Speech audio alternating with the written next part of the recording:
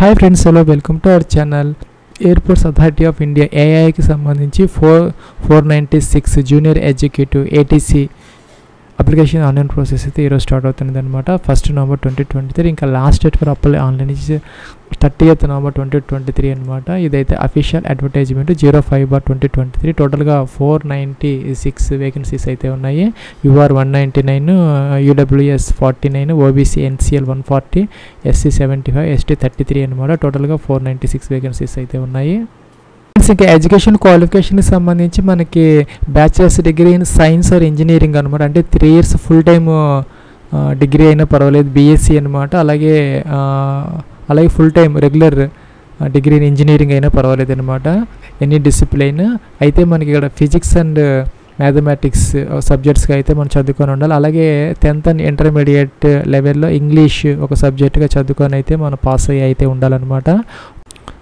Friends ఇంకా మనకి BE BTech BSc engineering అనమాట వీళ్ళందరూ కూడా దీనికి ఎలిజిబుల్ అయితే అవుతారు. ఇంకా ఏజ్కి వచ్చేసరికి మనకి మినిమం ట్వంటీ సెవెన్ ఇయర్స్ అయితే ఉండాలి. As on thirty eighth November twenty twenty అంటే last date of application online process అనమాట ముప్పై నవంబర్ ట్వంటీ ట్వంటీ త్రీకి ట్వంటీ సెవెన్ ఇయర్స్ అయితే ఉండాలి. ఎస్సీ ఎస్టీ వాళ్ళకి వచ్చేసరికి థర్టీ టూ ఇయర్స్ అనమాట అలాగే ఓబీసీ ఎన్సీ అంటే నాన్ క్రిమి లేయర్కి సంబంధించి థర్టీ ఇయర్స్ వరకు అప్లై చేసుకోవచ్చు. పీడబ్ల్యూడీ క్యాండిడేట్స్కి సంబంధించి.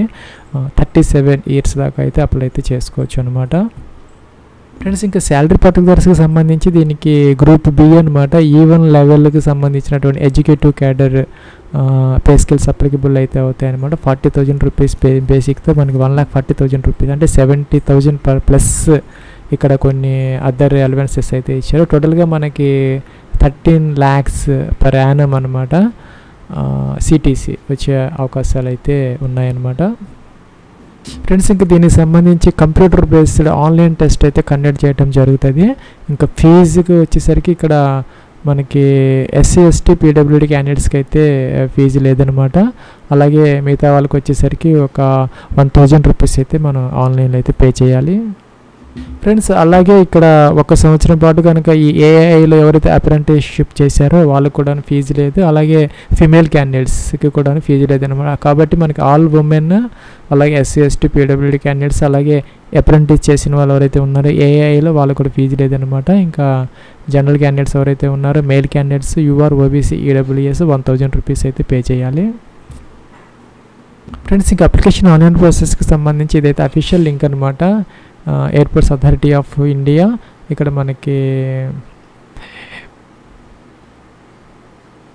రిజిస్టర్ ఇచ్చారనమాట ఇక్కడ టూ రిజిస్టర్ దీని మీద క్లిక్ చేసి మొదటి రిజిస్టర్ అయితే అవ్వాలి మనం. తర్వాత అయితే మనం లాగిన్ అయిపోయి అప్లికేషన్ ఫామ్ అయితే ఫిల్ అయితే చేసుకోవాలి. ఇదైతే లోడ్ అవుతున్నది. ఇక్కడ మనకి బ్రౌజర్ ఇన్ఫర్మేషన్ అయితే ఇస్తున్నారు.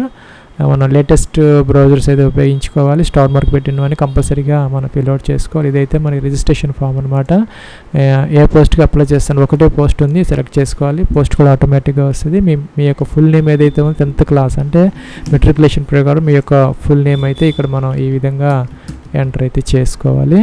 అలాగే కిందకి రావాలి. ఇక్కడ మీ యొక్క టెన్ డిజిట్ మొబైల్ నెంబర్ ఏదైతే ఉందో అది ఎంటర్ చేసుకోవాలి. అదైతే కన్ఫామ్ అయితే చేయాలి ఇక్కడ.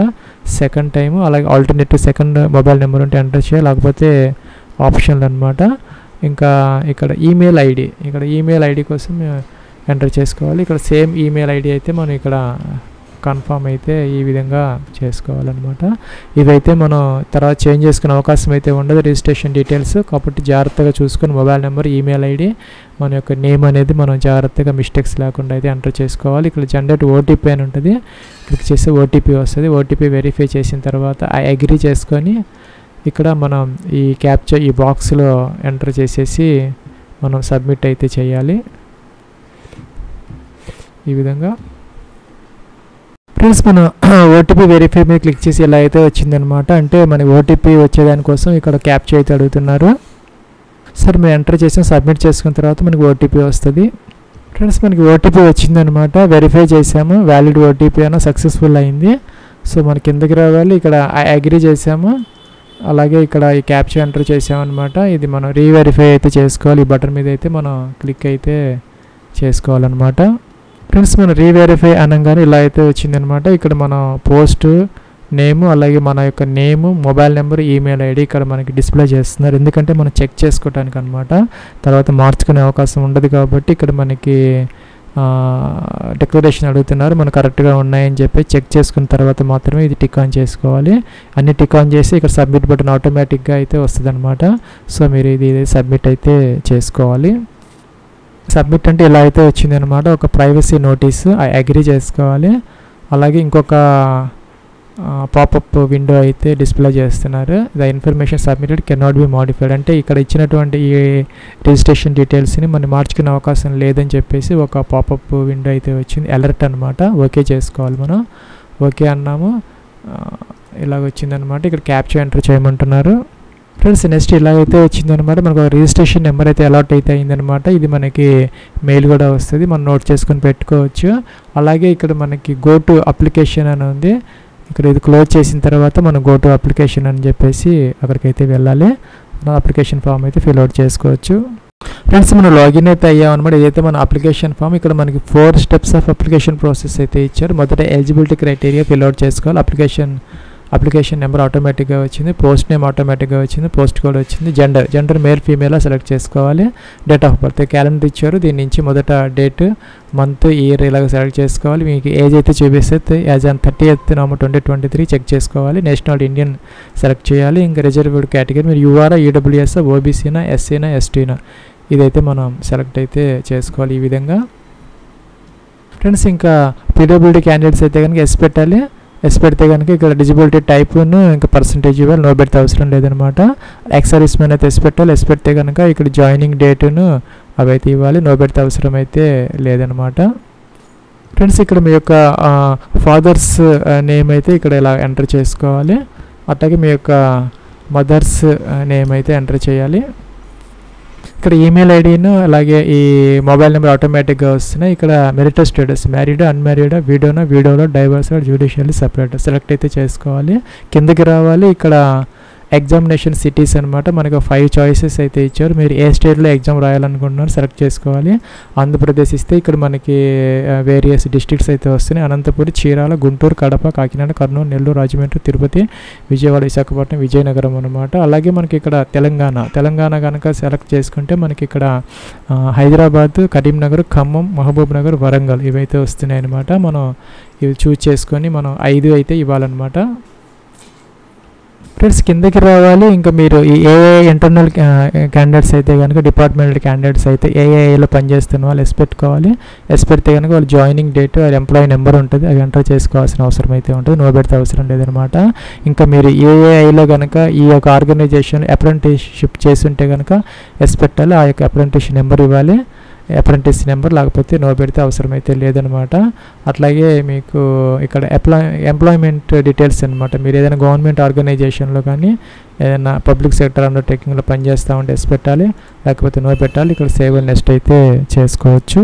ఫ్రెండ్స్ ఇదైతే నెక్స్ట్ ట్యాబ్ అనమాట కమ్యూనికేషన్ డీటెయిల్స్లో ఇక్కడ అడ్రస్ మీ యొక్క డోర్ నెంబర్ ఫ్లాట్ నెంబర్తో సహా street country state pin code district అన్నీ కూడా మెన్షన్ చేయాలి. ఇంకా ఈ పర్మనెంట్ అడ్రస్ ఇది కనుక సేమ్ అయితే ఇది ఎస్ పెట్టేస్తే ఆటోమేటిక్గా ఇక్కడికి కిందకైతే వచ్చేస్తుంది. ఒకవేళ ఈ కరస్పాండెన్స్ అడ్రస్ పర్మనెంట్ అడ్రస్ కనుక డిఫరెంట్ అయితే మీరు సపరేట్గా ఇవైతే ఫిల్ అవుట్ చేసుకోవాలి. బ్యాక్ వెళ్ళి ఎడిట్ చేసుకోవచ్చు లేదంటే సేవ్ అండ్ నెక్స్ట్ అయితే చేసుకోవచ్చు అనమాట. డేటా సేవ్ సక్సెస్ఫుల్లీ అని వచ్చింది. ఇక్కడ ఎడ్యుకేషన్ క్వాలిఫికేషన్ సంబంధించినటువంటి డీటెయిల్స్ అయితే మనం ఎంటర్ చేసుకోవాలి.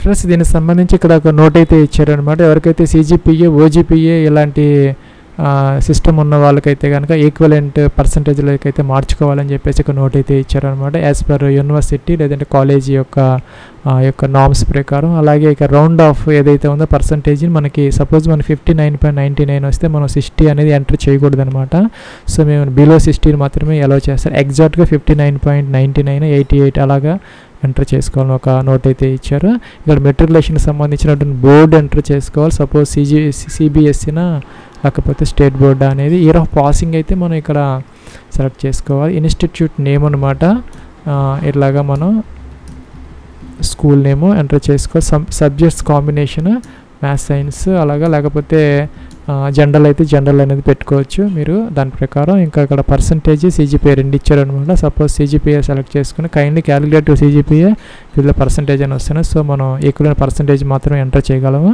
ఇక్కడ. సో మనం ఆ ఈక్వలెంట్ మార్క్స్లోకి మనం మార్చుకోవాలన్నమాట. ఇలాగ మీకు ఎన్ని మార్క్స్ వచ్చాయి అప్టైన్డ్ మార్క్స్ టోటల్ మార్క్స్ ఎంత వేస్తే పర్సంటేజ్ ఆటోమేటిక్గా వస్తుంది. ఇంటర్మీడియట్ ఇంటర్మీడియట్కి సంబంధించి మీరు ఏ బోర్డులో చదువుకున్నారు? సపోజ్ ఈ విధంగా మీరు ఎంటర్ చేయాలి. ఏరో పాసింగ్ ఎంటర్ చేసుకోవాలి. ఇందాకట్లాగా అట్లాగే ఇన్స్టిట్యూట్ నేమ్ అనమాట అంటే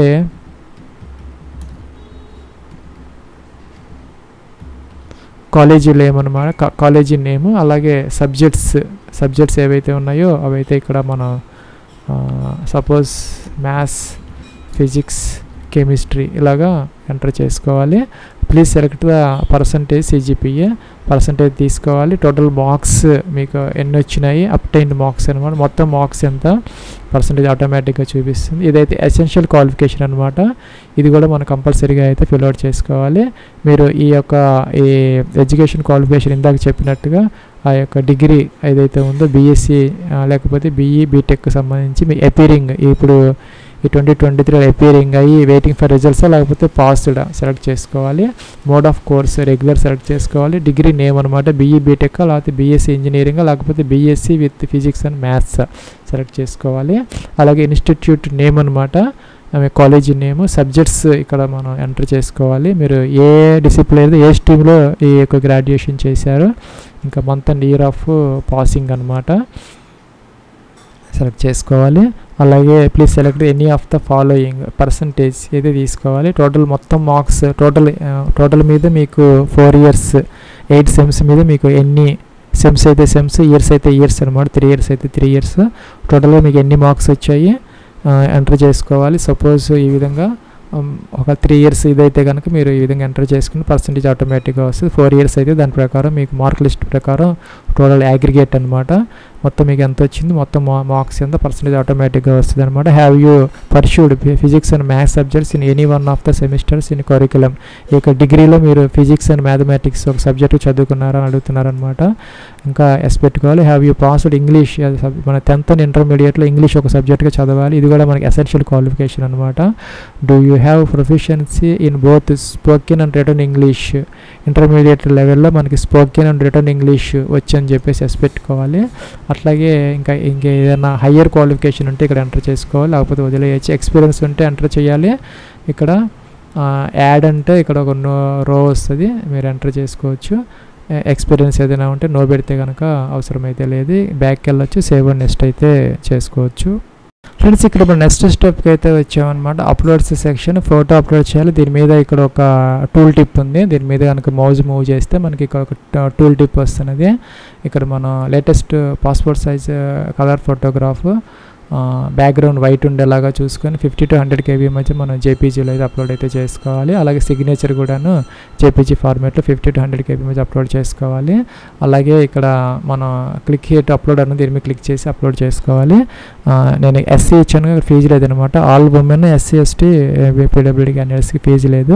ఉన్న వాళ్ళకి ఫీజు చూపిస్తుంది ఇక్కడ.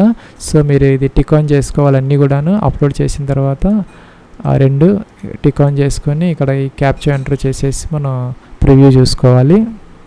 ఫ్రెండ్స్ మన ప్రివ్యూ అన్న అనమాట మన ఇన్ఫర్మేషన్ కనపడుతున్నది. అన్ని చెక్ చేసుకోవాలి. ప్రాపర్గా ఉన్నప్పుడు మాత్రం ఇక్కడ ఇక్కడ ఓకే బటన్ ఏమి క్లిక్ చేసుకోవాలి. లేకపోతే బ్యాక్ వెళ్ళిపోయి మనం చెక్ చేసుకొని మోడిఫై అయితే చేసుకోవచ్చు. ఫ్రెండ్స్ మనం ఓకే అన్న ఇక్కడ సబ్మిట్ అనే బటన్ ఉందన్నమాట. దీని మీద క్లిక్ చేయాలి. లేదంటే బ్యాక్ వెళ్ళి మీరు ఎడిట్ చేసుకోవచ్చు. అన్ని ప్రాపర్గా ఉన్నప్పుడు మాత్రమే మీరు సబ్మిట్ అయితే చేసుకోవాలి. ఫ్రెండ్స్ నెక్స్ట్ ఇలా అయితే వచ్చిన ఇన్స్ట్రక్షన్స్ అగ్రీ చేసుకోవాలి. అగ్రీ అన్నా. ఇక్కడ మనకి అప్లికేషన్ ఫామ్ అయితే సబ్మిట్ అయితే అయిపోయింది. ఇక్కడ ప్రింట్ అయితే కనబడుతుంది. మన అప్లికేషన్ ఫామ్ అయితే ప్రింట్ అయితే తీసుకోవచ్చు. ఫ్రెండ్స్ ఇక్కడ మన ప్రింట్ ఆప్షన్ ఉందన్నమాట. ప్రింట్ అయితే అప్లికేషన్ ఫామ్ అయితే తీసుకోవచ్చు.